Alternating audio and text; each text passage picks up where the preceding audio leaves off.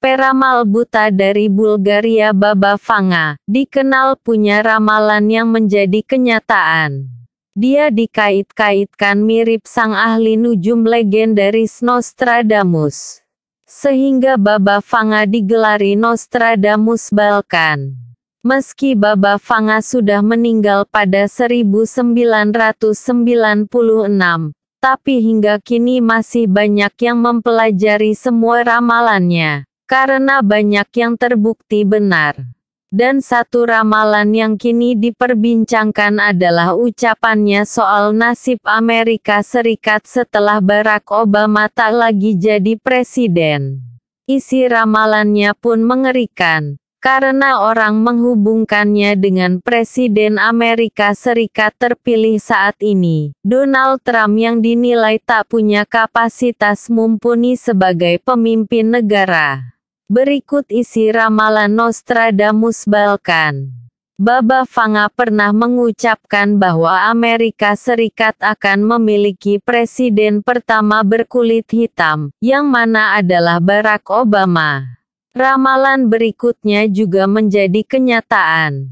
Baba Vanga menyebut, warga menaruh harapan besar di pundak sang presiden kulit hitam pertama Amerika itu.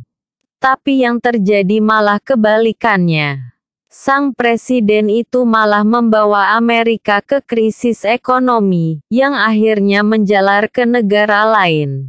Dan ramalannya yang terakhir soal sosok presiden kulit hitam ini adalah yang paling mengerikan. Dia mengatakan bahwa sang presiden akan menjadi yang terakhir. Tidak jelas apa maksud Baba Vanga, tapi banyak yang meyakini bahwa Donald Trump akan membawa AS menuju kehancuran, sehingga tak ada lagi presiden yang akan terpilih. Benarkah demikian? Waktu yang akan membuktikan apakah ramalan masa depan negara adidaya ini jadi kenyataan. Namun Donald Trump yang tidak diunggulkan, baik oleh lembaga survei dan media maupun elit politik Amerika mengalahkan rivalnya Hillary Clinton. Kemenangan Trump membuat dunia panik dan syok.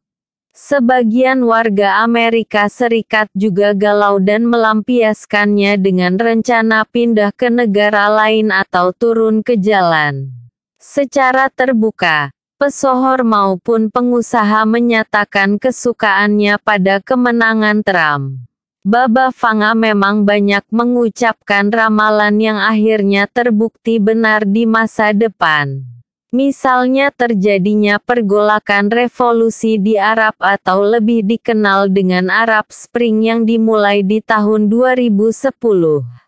Kemudian dia juga meramal akan terjadinya peristiwa hancurnya menara kembar WTC oleh serangan teroris. Baba Vanga lahir di daerah pegunungan di pelosok Bulgaria. Diakini dia mengalami buta akibat jadi korban bencana badai di daerahnya. Setelah terkena angin puting beliung, Baba Vanga terlempar ke udara, lalu ketika terhempas ke tanah, ia mengalami cedera hebat di matanya.